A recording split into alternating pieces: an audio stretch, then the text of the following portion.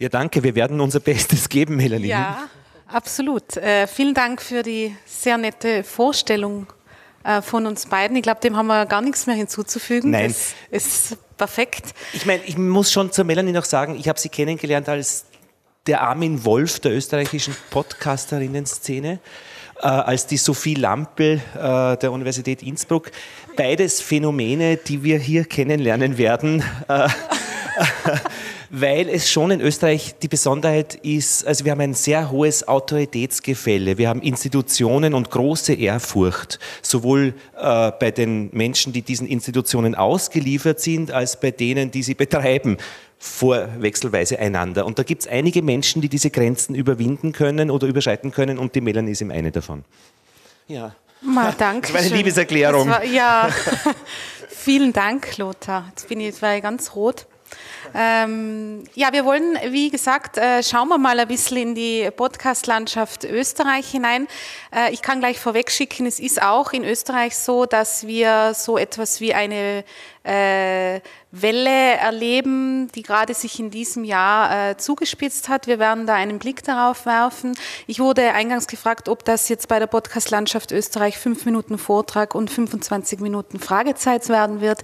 Nein, das wird es nicht werden, weil es gibt so einiges in Österreich, was wir euch da gerne vorstellen möchten. Und ich denke, was in dem Fall vielleicht gerade auch für euch, die ihr da äh, vielleicht jetzt gerade einen, erstmals so ein bisschen einen Blick hineinwerft, äh, um dieses ganze Setting in Österreich so ein bisschen zu verstehen, macht es vielleicht Sinn, dass wir einen kurzen Blick in die Geschichte zunächst einmal werfen, wo der Lothar prädestiniert dafür ist. Altersmäßig, weil da warst du doch gar nicht auf der Welt. Äh, wir schreiben das Jahr 1998. Das war, äh, ist schon ewig her. Aber um Österreich zu verstehen in seiner Audiolandschaft, muss man, glaube ich, wirklich in dieses Jahr gehen, weil bis 1998 äh, gab es keine Privatsender. Es gab wirklich äh, drei österreichische Radiosender, ORF, äh, Österreich 1, Österreich 2, Österreich 3. Und die Programme waren durchgeschaltet. Also Österreich 1 und Österreich 3 hat zum Mittag das Mittagsjournal gespielt. Beide, während dazwischen auf Österreich 2 die Kirchenglocken gespielt wurden, in der Sendung Autofahrer unterwegs. Und das war also wirklich höchste Zeit und wir waren noch vor Albanien, dass diese äh, Landschaft auch ähm, aufgeweitet wurde. Es war in den Nachrichten im Fernsehen war in der, die, im ORF 1 die Zeit im Bild durchgeschaltet auf ORF 2. Das heißt, die haben alle das Gleiche gesehen. Und nur besonders glückliche Regionen konnten zum Beispiel an das tschechische Fernsehen sehen äh, und hatten eine Ergänzung zu ihrem Programm. Das war alles bis 1998. Und Radio 1476 ist ein Phänomen, das bereits ein Jahr vorher privaten Gruppen ermöglicht hat, so wie heute die Podcasterinnen und Podcaster äh, eigentlich solche Gruppen darstellen, in irgendeinem so ORF-Rahmen zu senden, und zwar auf der ungefährlichen Mittelwelle auf 1476 Kilohertz, weil dieser Sender hätte sonst gesprengt werden müssen und man hätte die Frequenz verloren. Jetzt hat man gesagt, besser, wir öffnen das ein Jahr vor der Privatisierung Gruppen, äh, die senden möchten. Aber das war so praktisch diese freie Radiolandschaft, die sich hier in diesen Feld zwischen ORF und Volkshochschulen entwickelt hat. Also dass das entstehen konnte, ist überhaupt äh, ein Wunder. Wir werden das Wort Wunder auch später noch einmal kurz in den Mund nehmen. Wir werden es nur merken, das Wort Wunder mal kurz noch festhalten. Ja, und dann kam das Jahr 1998, dann kamen die Privatsender, dann kamen die freien Radios mit ihrer Landschaft und mit ihren Fähigkeiten, nämlich äh, Menschen anzusprechen, aktive Senderinnen und Sender zu werden. Das ist der geschichtliche genau. äh, Aufriss. Äh, 2002, mhm. glaube ich, habe ich wen getroffen in der Volkshochschule, der, der hat gesagt, weißt du, was Podcasts sind? Keine Ahnung, ich verstehe das Konzept auch nicht. Ähm, das hat damals so langsam begonnen und dann kam die Podcastwelle 1 auch in Österreich, Nachrichten aus dem Klo gesprochen, so hat sich's angehört. Äh, dann kam die Podcastwelle 2, das waren die Tim Britloff Headsets und Auphonic, großartige Geschichte und die Podcastwelle 3, das ist eben das, worüber Tim äh, gestern gesprochen hat, ist jetzt auch bei uns und da werden wir dann noch eben genau hinkommen. Genau.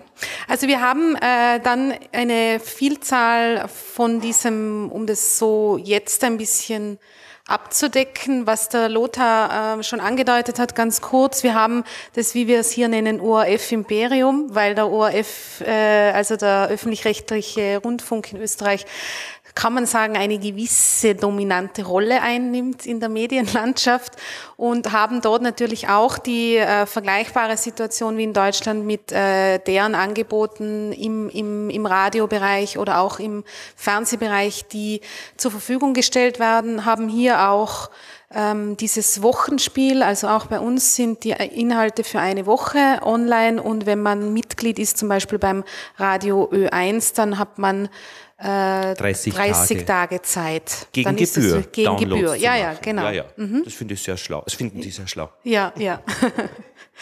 Ähm, also die sind, äh, sieht man auch, wenn man äh, so einen Blick auf iTunes zum Beispiel wirft, ist Ö1 mit seinen verschiedenen äh, Podcast-Angeboten, beziehungsweise Podcast heißt in diesem Fall ja Zweitausspielungsweg aus dem linearen Programm, sind die recht gut vertreten und sind einige sehr beliebte Formate dabei.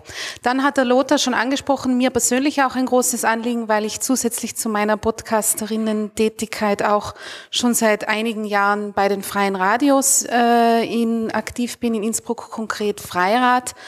Ähm, ist eine sehr interessante Landschaft in Österreich, würde ich sagen. Äh, ich höre auch immer wieder, wenn man in Deutschland darüber spricht, dass es ähm, da doch Unterschiede gibt von der ähm, Tradition und Organisation her, wie Sie sie in Österreich haben. Wir haben gestern schon äh, einen Vortrag dazu sogar gehört. Also da lohnt sich wirklich einmal reinzuschauen.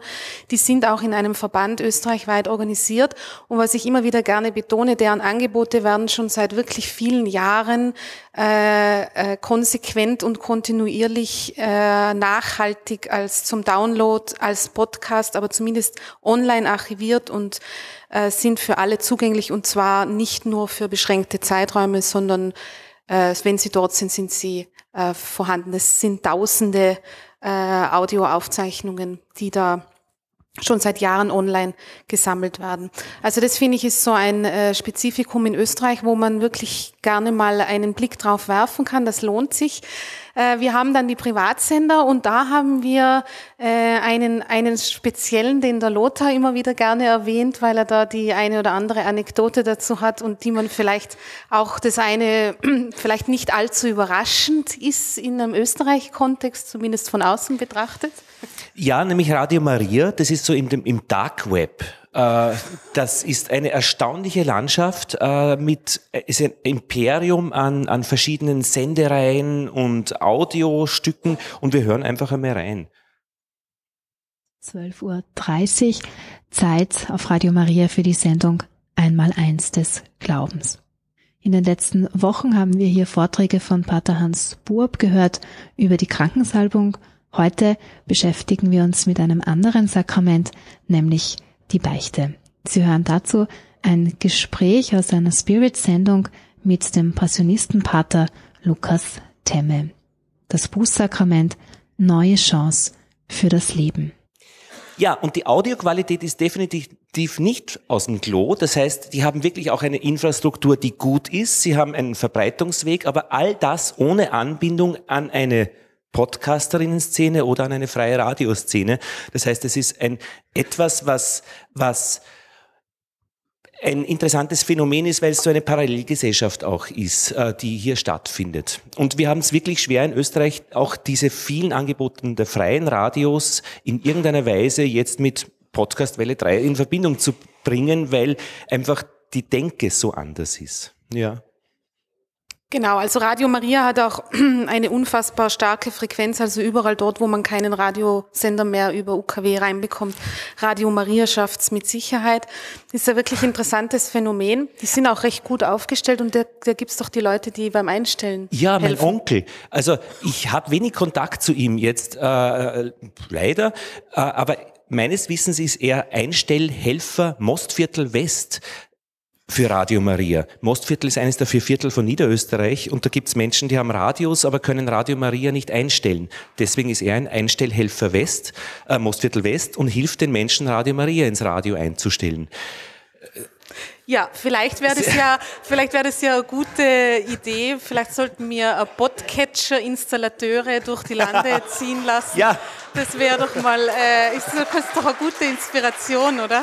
Also man kann da was lernen. Man kann was lernen, absolut, ja. Wobei, glaube ich, auch umgekehrt etwas zu lernen da wäre und vielleicht können wir ja mal wen einladen auf eine unserer kommenden Subscribes. Ja. Na, das weiß ich ja nicht. Also die Spenden, äh, Monetarisierung, Spenden, Lukrierung, High-End. Also das würde mich echt wundern, wenn wir da nichts lernen könnten. Mhm. Ja, äh, wir haben, gehen wir weiter äh, in der äh, österreichischen Podcast-Landschaft und die Claudia hat ja eingangs schon erwähnt, dass ich das Podcasting Meetup Österreich organisiere, gemeinsam mit dem Stefan Haslinger und wir haben da in den letzten zwei Jahren kontinuierlich Zuwachs. Also es gibt in dieser freien Podcast-Welt, wie wir sie ja gerne bezeichnen, einige Podcasterinnen und Podcaster in Österreich und zwar über alle Themenbereiche hinweg. Einige davon sind auch hier bei der Subscribe. Viele schon zum zweiten oder dritten Mal. Und ähm, was wir dort auch initiiert, initiiert haben, ist eine Webseite, die heißt podcasterei.at und da haben wir alle Podcasts, äh, die in diesem Bereich schon ähm, sich vor allem auch im Hinblick auf Vernetzung äh, interessiert haben, aufgelistet. Also da kann ich nur empfehlen, einen Blick drauf zu werfen. Also wir wollen jetzt nicht über die Podcasts reden, die es in Österreich gibt, die im Rahmen der Subscribe schon da sind oder aufgeschlagen haben oder organisiert sind oder angebunden sind, sondern über die anderen, die jetzt gerade entstehen in dieser Podcast-Welle 3. Und da müssen wir, glaube ich, kurz das Armin Wolf-Phänomen schildern, an die, die es nicht kennen, die nicht aus Österreich sind.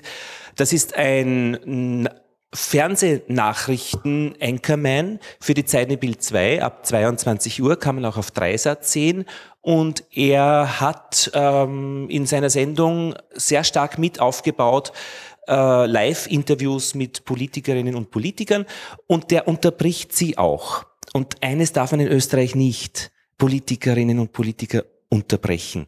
Dementsprechend schlecht ist die Nachrede, also was dann immer dann in den Zeitungen oder auch äh, in den sozialen Medien über ihn herfällt, wenn er eben den Landeshauptmann von Niederösterreich nicht äh, zu seinem Amtsende huldigt, sondern siebenmal unterbricht, weil er einfach siebenmal die Frage nicht beantwortet hat. Und das ist in Österreich ganz schwierig an die Zuseherinnen und Zuseher zu bringen.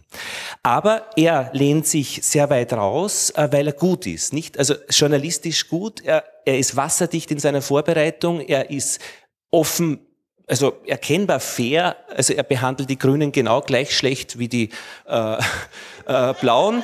Und das ist gut so. Aber er ist einfach wirklich äh, am, am letzten Stand der journalistischen Dinge und damit kann er sich viel erlauben und die Leute spüren, dass das in Ordnung ist letztlich, auch wenn es so weh tut. Er ist auf Twitter sehr aktiv äh, und äh, überschreitet aber aufgrund seiner Professionalität recht lässig äh, so Autoritätsgrenzen. Und das äh, Sophie Lampel-Phänomen, von dem wir eingangs gesprochen haben, Sophie Lampel ist die Sprech Pressesprecherin vom Wissenschaftsminister und die macht das über Twitter äh, einfach wirklich als von ihrer Persönlichkeit her, ähm, dass sie sagt, also wir sind Weltraumminister oder der Chef will wieder jemanden, einen Österreicher ins All schicken. Ich wüsste schon drei. Und so macht sie die Pressesprecherinnenarbeit und das ist großartig, weil sie nämlich genau in diese, in dieses, äh, diese große Kluft hineinsteigt, mit ihrer Person diese äh, Welten verbindet. Ja, und deswegen ist es auch interessant im Uni Innsbruck, die natürlich auch eine Einrichtung ist, äh, man kann, also ich jetzt als Radiojournalist könnte nie an einer Presseabteilung arbeiten, weil ich einfach dann meinen, meine, meine Radiointegrität verlieren würde. Die Glaubwürdigkeit wäre beim Teufel. Nur, es ist sehr wohl möglich eben, äh, von diesen Institutionen aus eine Glaubwürdigkeit zu erarbeiten, die eben aufgrund der Persönlichkeit und des Engagements in einer bestehenden, zum Beispiel Podcasterinnenlandschaft erarbeitet wird. Und diese Glaubwürdigkeit, äh, das ist so dieser hohe Wert, äh, den wir Podcasterinnen hier auch, auch haben. Genau, und was diese Glaubwürdigkeit betrifft, ist jetzt auch in Österreich, wir haben das ja in Deutschland auch schon angesprochen und in, in Österreich ist es äh, vielleicht auf die Größe des Landes gesehen noch äh, deutlicher. Wir haben das gestern noch einmal recherchiert. Es sind in Österreich in diesem Jahr acht Podcasts aus der Journalistik-Ecke entstanden, fünf davon in den letzten drei Monaten.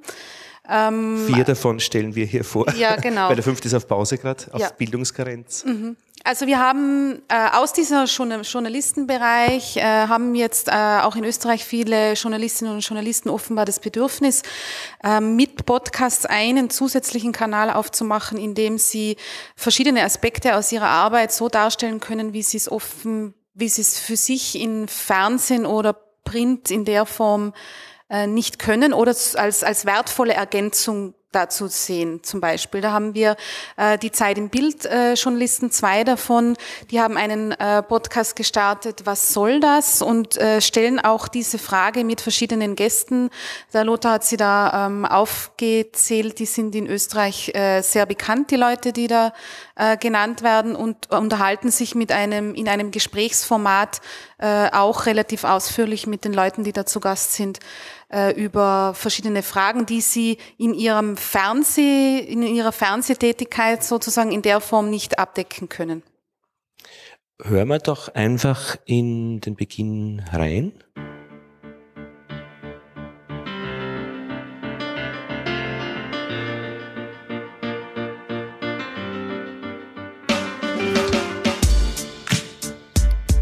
Hallo und herzlich willkommen. Mein Name ist Patrick Swanson und das hier ist Was soll das? Unseren heutigen Gast kennt man aus Sendungen wie der ZIP 2 und aus Ereignissen wie dem aktuellen Wahlkampf. Es ist Peter Filzmeier himself und auch mit dabei ist Michael Meyerhofer. Hallo Michael. Hallo Patrick, danke dir. Peter Filzmeier ist bei uns heute da. Wir freuen uns sehr. Er ist ja sowas wie eine lebende Legende in Österreich. Er analysiert die Wahl für den ORF im Fernsehen, zum Beispiel in der ZIP 2 nach den Konfrontationen und natürlich ist er auch am kommenden Wahlsonntag mit dabei. Das macht er auf eine einzigartige Weise. Filzmeier ist Politikwissenschaftler und lehrt in Krems und Graz.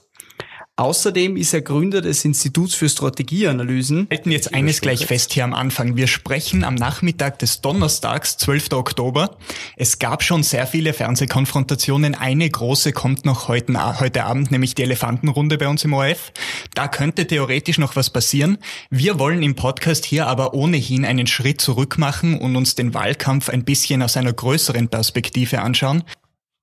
Ja, und ähm, das Du wird dem Peter Filzmeier angeboten, er nimmt es aber nicht an. Äh, das hindert die beiden aber nicht beim Du zu bleiben, was sehr hübsch ist. Äh, aber man hört in dieser Folge, dass es einfach Peter Filzmeier nicht gewohnt ist, mit Menschen mit Du zu reden. Offenbar jetzt in einer Medienlandschaft. Ja, also da tun sich auch für die Journalistinnen und Journalisten in ihrer Herangehensweise, die sie bisher hatten, glaube ich, neue ähm, Experimentierfelder auf. Wir haben da hier noch einen, äh, eine ähnliche äh, auch ein Gesprächsformat, ganz offen gesagt, mit äh, drei Journali zwei Journalistinnen, ein Journalist in Österreich, auch sehr bekannt aus verschiedenen Aktivitäten im Printbereich vor allem oder auch im Fernsehen. Ähm, Sie haben in Ihrem Format eingangs immer erklären Sie, wie sozusagen ähm, Ihr Verhältnis zu der Person ist, die, mit der Sie jetzt sprechen werden. Also haben da einen sehr journalistischen Anspruch, den Sie in den Podcast gleich eingangs mit einbringen und klar machen. Und wir sehen schon, wir haben eine äh, leichte Soundcloud-Affinität äh, in Österreich.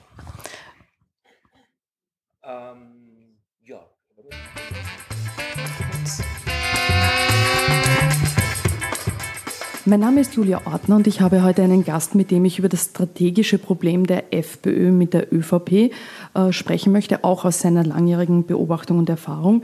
Heimo Leposchitz war als Pressesprecher für die FPÖ, dann nach der Parteitrennung für das BZÖ tätig. In der Bundespolitik war er das. Beide kennen uns einfach von der Arbeit, haben uns, äh, bei, also wenn ich recherchiert habe bei dir oder im Parlament bei, bei Anlässen, Arbeitsanlässen getroffen.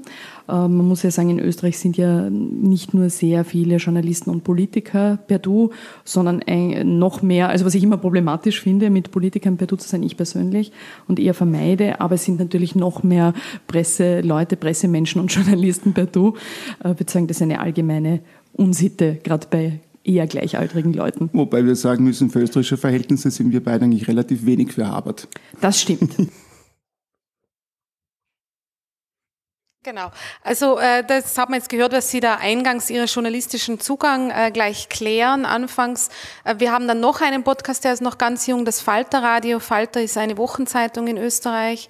Ähm, die auch begonnen haben. Interessant ist hier der Anspruch, dass sie sozusagen aus der Redaktion direkt berichten wollen und sie setzen sich wirklich in der Redaktion an einen Tisch, Mikros äh, auf den Tisch und erzählen, äh, woran sie gerade arbeiten, was aktuelle Themen sind und die Journalistinnen, die den Text, die einzelne Beiträge geschrieben haben, erklären, äh, wie dies die Recherche war, was die Motivation war, den Beitrag zu gestalten und so weiter. Zwei Stimmen gibt's dann noch äh, aus der Kurierumgebung und die sind 20 Minuten schlank. Ähm, das heißt, ähm, da, da, da ist schon ein bisschen Speed drinnen und erinnert ein wenig an, ein wenig an äh, die Lage der Nation. Genau. Und dann natürlich mein Herzensthema Wissenschaft. Äh, ich freue mich sehr, dass es äh, in Innsbruck jetzt einen zweiten Podcast gibt, nämlich den World Politicast. Ist ein Politikwissenschaftler, äh, Leiter des Instituts für Politikwissenschaft in Innsbruck, der sich mit internationaler Politik befasst und auch ganz interessant beim, beim letzten Treffen der Wissenschaftspodcasterinnen das erklärt hat, warum er als Wissenschaftler sich dazu entschieden hat, ein Podcast-Format zu starten. Und wir haben das sehr erfolgreich umgesetzt und er ist sehr zufrieden und hat einen Kanal gefunden, um seine Inhalte äh, über die Universität hinaus und alle Kontexte, die er dort verwendet, zu verbreiten. Also eine Empfehlung. Ja, dann gibt's noch äh, aus so ehrwürdigen Einrichtungen wie der Uni Wien, Audimax äh, vom Daniel Messner und äh, vom Technischen Museum, die haben jetzt eine Ausstellung gemacht, Zukunft der Stadt und die haben gesagt, wir möchten auch was machen und immer wenn es um Podcasts geht, äh, dann machen sie dann auch wirklich jetzt mittlerweile mit und haben angefragt, ob jetzt in diesem Fall ich äh, Episoden für Sie machen kann zu den Themen der Ausstellung. Äh, gerne und interessant ist dabei, dass die Flüsse im Museum, also wer entscheidet, wie was, noch ganz schwer sind. Also ich äh, kann mit meiner Art zu podcasten noch ganz schlecht umgehen mit Entscheidungsfindungen, wer soll Gast sein, äh, wann wird die Episode aufgenommen, wie wird sie veröffentlicht. Und ich bin relativ schnell und schmutzig äh, und, und dann ist immer große Stille, einige Wochen äh, und plötzlich kommt wieder eine klare Vorstellung, wie es weitergeht. Also da ist noch wirklich in den Institutionen her äh, einfach viel Interesse aber auch vorhanden. Dann noch eine kleine Erfolgsgeschichte im äh, Rahmen des Podcasting Meetups Österreich. Da haben uns vor einigen Monaten zwei äh, an Zeitgeschichte interessierte äh, Leute kontaktiert, die mit einer Idee zu uns gekommen sind und dann äh, relativ eng an uns ähm, an uns entlang sozusagen mit Tipps, die es dazu gibt, ein sehr schönes Podcast-Format äh, entwickelt haben mit dem Titel Stubat, äh, wo sich auch wirklich lohnt reinzuhören. Stubat ist, glaube ich, die, die Stube, oder? Man sitzt sich zusammen und spricht auf Vorarlbergerisch.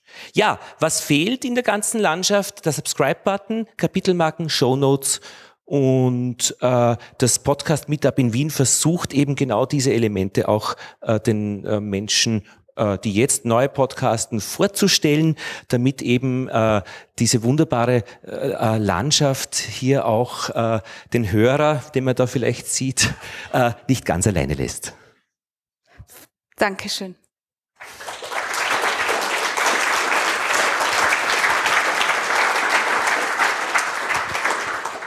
Vielen Dank an euch beide. Gibt es Fragen aus dem Publikum?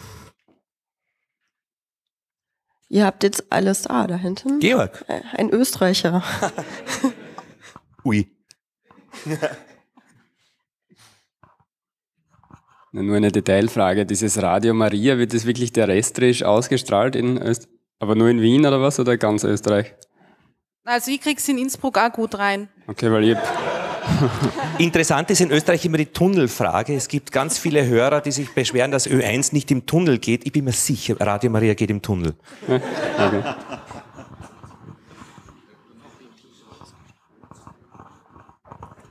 Also Radio Maria, ich würde sehr davon abraten, da die Finger nur hinzutun, weil wenn da einmal klebt, die kriegst du nicht mehr los und sie sind unheimlich impertinent in dem, was sie tun. Und das ist nicht nur in Österreich so, sondern das ist äh, weltweite Bewegung, die da drinnen ist, wo echt die militanten Katholen unterwegs sind. In Polen haben die massiven Einfluss auf die Regierung unter anderem. Also das ist nicht so, äh, da spüren wir jetzt ein bisschen. Darknet ist super, was du gesagt hast. Aber bitte also als Journalist würde man jetzt sagen, äh, wir haben jetzt leider niemanden von Radio Maria hier, den wir jetzt hören könnten. Wir werden versuchen, diese Stellungnahme nachzureichen.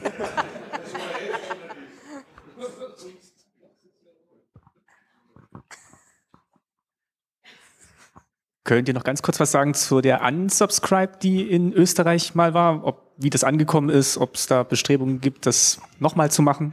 Mm, ja, also das war letztes Jahr eine Veranstaltung im Juni 2016.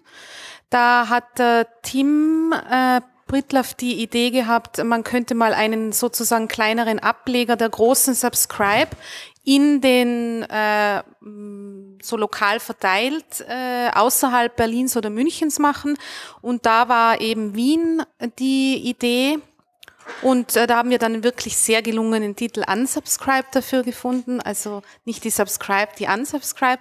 Und das ist in äh, Wien sehr erfolgreich gewesen. Also da waren auch, äh, wir haben dort einen ganzen Tag Programm gestaltet, auch wieder aus der Community heraus. Jeder konnte äh, seine Formate vorstellen, Ideen präsentieren.